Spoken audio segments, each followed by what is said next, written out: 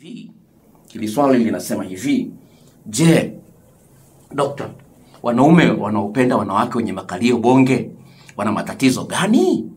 Kichwa cha habari cha swali hilo ni hili wanaume wanaopenda wanawake wenye makalio bonge wana matatizo yafuatayo. Sikiliza swali la huyu dada. Dokta mimi ni dada niliyemaliza chuo kikuu niko dar es salaam. Sijajaliwa kuwa na makalio makubwa na natamani niwe na makalio hayo je wanaume wanaopendelea makalio makubwa ni kawaida ya wanaume wote au hawa wanaume wana matatizo?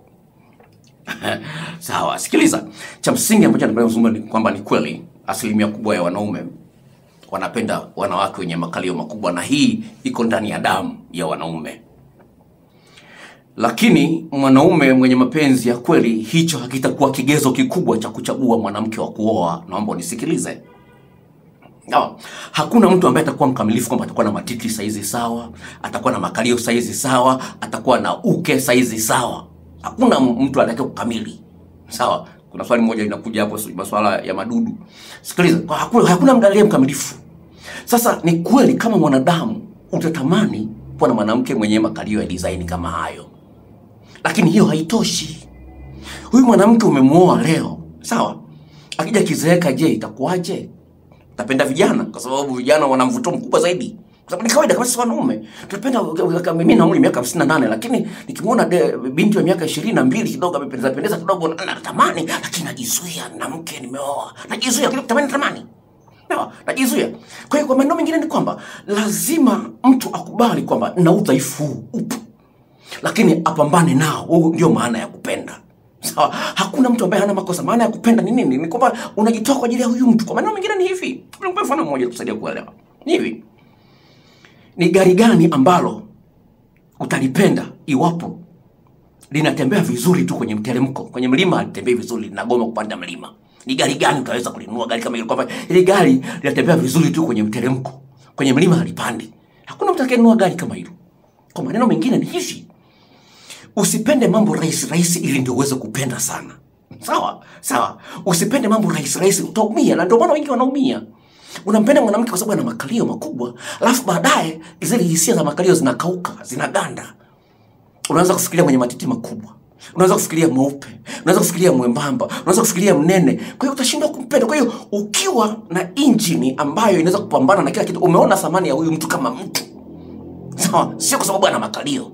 Sio kwa sababu ana pesa ni kwa sababu ana utu. Ndio, kwa hiyo unakubali kuoa huyu mwanamke kwa sababu umemwona kwamba ana sifa ambazo unazihitaji mbali na maumbile yake. Kwa hiyo jinsi gani huyu mtu atakuwa mwongeaji mzuri? Vitu ambavyo havihitaji hisia kutoka kwake ye mwenyewe. Labda nikupe mfano mmoja ambao ni kama comedy. Watu wa- kina dada wawili walienda kwa fundi charahani dada mmoja akaomba apunguziwe. Sawa ile nguo ilikuwa ni ni, ni, ni, ni, ni, ni, ni, ni ndogo iongezewe upana. Mwingine akaomba suruale ilikuwa ni ndefu ipunguzwe iwe fupi kwa sababu ni mfupi. Sawa? Ameenda wote kwa charahani yule mwenye suruale ile iliyo ndefu alishonewa bure apunguziwa bure huyu ya kuongezea unene akachajiwa hela za kulipa shilingi elfu tano. Sasa huyu dada akalalamika mbona mwenzangu umeshonea bure mimi mimi una- una- unanichaji. Akasema hivi huyu hakusababisha amezaliwa mfupi ndivyo alivyo. Kwa hiyo sio sio yani yeye yeye akupenda hiyo hivyo lakini wewe unene wako sababu unakula sana. Ndio maana nimekuchaji. Huyu hana makosa. Amezaliwa mfupi ila amenunua suruali ndefu kwa sababu amependa rangi yake na kila kitu. Na maana mpunguzia. Lakini wewe umenenepa sana kwa sababu ulikuwa na hii nguo ilikuwa inakuenea lakini umenenepa. Kwa hiyo wewe ndio umesababisha nguo hii isikuenee. Kwa hiyo ndio maana nimekuchaji. Kwa maneno mengine ni hivi. Ni kwamba jambo la msingi ufahamu kwamba kuna mambo ambayo mtu atafanya makusudi. Hayo mnaambizana yanaisha. Lakini pale ambapo unaona yanajirudiarudia unaona huyu mtu afai kwa maneno mengine kwamba hivi mwanamke mwenye makalio manene sio kwamba ndio utaweza kumpenda milele. Wangapi wameachwa na makalio yao sawa. Kwa hiyo cha msingi ni jinsi gani mtu anaitune akili yake kwamba bwana huyu ni mwanamke nimemwoa nitaendelea kumpenda. Huyu mwanamke nitamuoa kwa sababu ana sifa hizi. Kwanza amesoma yuko chuo kikuu. Pili ana ni mpole. Pili ni mnyenyekevu kubali makosa yake. Unamuoa kwa sababu nyingine zaidi ya maumbile yake. Sasa usipoitune akili yako siku zote kuwa ni mtu wa tamaa. Utaona mwenye makalio utakutana na naye eh, mwenye makalio anayomzidi mbali mbaya zaidi yakiota michilizi je? Tutamtupa makalio hayo yameota michilizi, utamtupa.